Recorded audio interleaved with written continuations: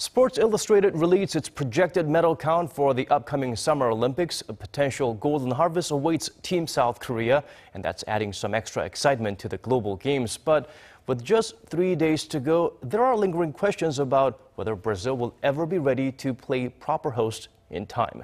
Un-shin has the latest buzz surrounding the Rio Olympics. Team Korea is on track to reach its goal of bringing home 10 gold medals for a top 10 finish at this year's Rio Olympics, if the predictions by an acclaimed American sports magazine come true. Sports Illustrated has released its medal predictions for all 196 countries in all 306 events. Korea is expected to grab 10 gold, 11 silver, and 10 bronze medals for a ninth place finish overall. The magazine predicts Korea will continue its winning streak in archery with gold and silver in both the men's and women's events and gold in the team competition.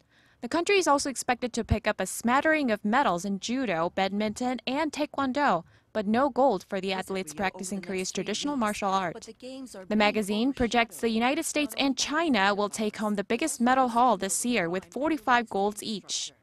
More than half a million sports fans are descending on Brazil as we speak, giving the country's embattled economy a much needed boost. But amid the excitement, there are still lingering concerns about the host city's new subway line, which was initiated to shuttle visitors from all over the world to Olympic events. It's one of the main legacy projects of the Games, but it's reportedly still not complete.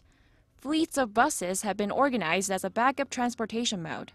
The delay is just one of a long list of problems for Brazil ahead of the main event, which is scheduled for 8 p.m. on Friday with more than 10,000 participating athletes.